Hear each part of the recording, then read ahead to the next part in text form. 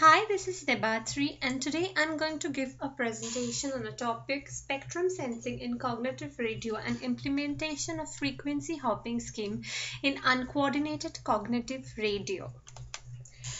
Efficient use and proper allocation of the radio frequency spectrum is very important since the availability of the RF spectrum is very limited. The allocation of spectrum is controlled by the government bodies of different countries like FCC for the United States of America and are allocated to the licensed users in order to avoid harmful interference between different frequency bands. This leads to unnecessary wastage of the RF spectrum. Cognitive radio is an intelligent technology that allows the secondary user to borrow the spectrum from the primary licensed users, leading to an efficient use of the spectrum. It adjusts the communication parameters such as carrier frequency, bandwidth, modulation techniques, and changes the transmission and reception accordingly. The primary task of the cognitive radio network is to detect the presence and absence of primary users in order for the secondary user users to sense the network and use the license band efficiently. It senses the spectrum continuously and once a primary user is detected, it instantly withdraws to avoid interference. The cognitive radio is flexible in terms of transmission characteristics and improve the spectrum utilization. So it is also called dynamic spectrum management scheme. Spectrum sensing is the first and the most basic step of the cognitive radio cycle. The next step is to capture the next available spectrum and this step is called spectrum management in cognitive cycle. Then the cognitive radio user exchanges its frequency of operation and this step is called spectrum mobility. The last step in the cognitive cycle is spectrum sharing which refers to providing a fair spectrum scheduling method among users. These are the various spectrum sensing methods. Match filter is the best method if the structure of the primary user waveform is known and cognitive radio is implemented only in selected primary user bands. It is considered to be the best for most frequently sensed channel to get the most optimum sensing results with the minimum sensing time. This can be used in various applications such as smart grid, disaster management and many other applications. The secondary user analysis is based on power and band of interest regardless of whether the primary user waveform is known or not. Then the secondary user selects the energy detector or cyclostationary detector if the primary user waveform is not known and match filter if the primary user waveform is known. However, cyclostationary detection is preferred over the energy detector if the noise uncertainties are not known and energy detectors are preferred if the noise uncertainties are known. Here, xt is the signal received by the cognitive radio user or the secondary user and yt denotes the signal transmitted by the primary user or the licensed user. wt is the additive white Gaussian noise band and h is the amplitude gain of the channel. H0 is called the null hypothesis which states that there is no primary or licensed user in the spectrum and H1 is, the is called the alternate hypothesis which states that there is a licensed user in the spectrum. These are the basic two equations or concept that is used behind spectrum sensing in cognitive radio. These are the consecutive steps that are used for the energy detection method in the project. The input signal is filtered using a bandpass filter in order to limit the noise and get the concerned bandwidth. The output E from the integrator is then compared to two threshold values lambda 1 and lambda 2 in order to determine if the signal is present or not the energy from uh, that that we get as an output from the integrator can be represented from the equation given in the slide. If we consider that if the, the energy value is greater than the predefined threshold lambda 1 then the primary user is present. And if the energy value is less than the predefined value uh, value of the threshold lambda 2 then the primary user is absent. And if the energy value lies in between lambda 1 and lambda 2 then it goes to a region of uncertainty and we consider that the energy detector is not reliable enough for the energy detection process. The two main concepts behind the energy detection process is null hypothesis and alternate hypothesis. H0 is called the null hypothesis and H1 is called the alternate hypothesis. So we can get exactly one of H1 or H0 to be true. So there can be generally two sources of error. One where we detect alternate but it is actually null which is called the false alarm and the other type which is more important is to detect null when it is actually alternate hypothesis. False alarm reduces the spectral efficiency and misdetection causes interference with the primary users so it is essential to optimize both of them. Probability of H1 given H1 is called probability of detection. Probability of H1 given H0 is called the probability of false alarm and probability of H0 given H1 is called the probability of misdetection.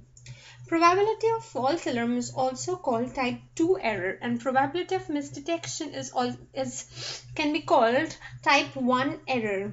Both of these errors should be very small for a proper spectrum sensing but it is not possible to reduce both of them simultaneously as reducing one can increase the other. So a trade-off has to be maintained and the ultimate goal of designing a detector is to minimize type 1 error while keeping the type 2 error in bound.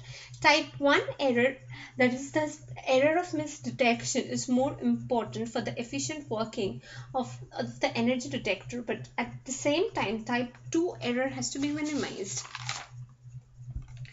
The main objective of cognitive radio is dynamic spectrum access, thereby reducing the problem of spectrum scarcity and enhancing spectrum efficiency.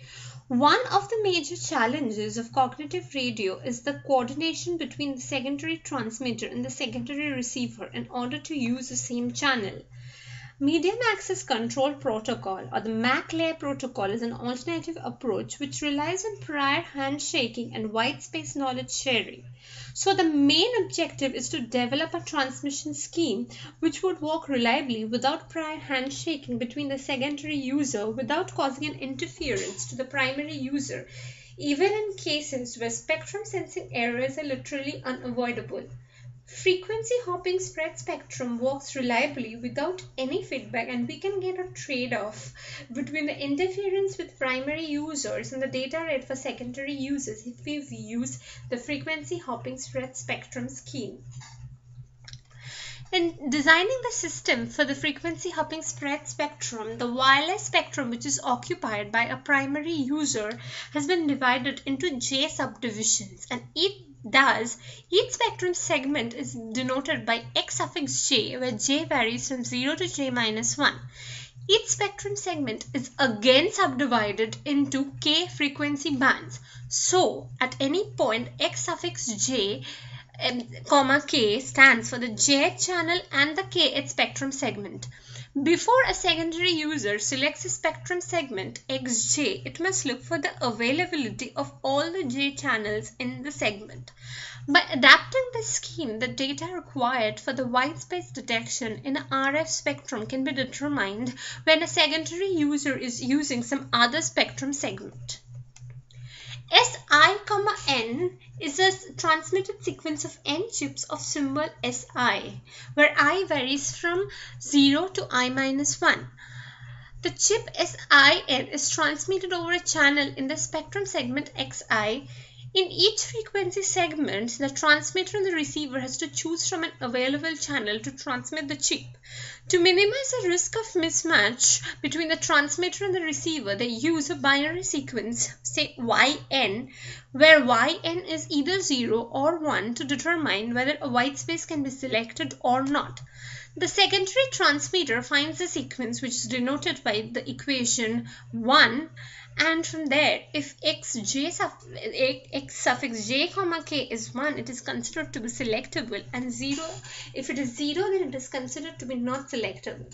The secondary receiver finds the sequence which is denoted by equation 2 and similarly if 5j comma k is 1 it is considered to be selectable. And if it is 0 it is considered to be not selectable the JH channel in the K1 spectrum segment is selected by the secondary transmitter for transmission only if the transmission value is 1 and otherwise it is aborted. Similarly, the JH channel in the K2 spectrum segment is selected by the secondary receiver for reception only if the transmission value is 1 or else it is aborted. Thus, the channel for the transmission and reception is selected. If the K1 spectrum segment is equal to the K2 spectrum segment, then the transmission is considered to be identical and the transmitter and the receiver uses the same channel for transmission. And if they are not equal, then there is a transmission mismatch. For the frequency hopping spread spectrum demodulation, the received baseband signal is found out by the matrix given we can calculate the SNR of the received signal from the equation 3 and equation 4 gives the average number of correct white space detected in case of both transmitter and receiver. The average channel mismatch probability is given by the equation 5. So for m repeated transmission, we have the average number of transmission that are error free, which is denoted by the equation 6. This is a plot showing the energy detection process. In the leftmost plot, we are finding that we are getting a global minima at around 28 for n equal to 8. This is the optimum, optimum threshold for the least error rate and the error rate comes out to be 10 from in between 10 to the power minus 3 to 10 to the power minus 2 dB. I'll show the code that I have written This is the code for the energy detection process and this is the code that I have written for the frequency hopping spread spectrum.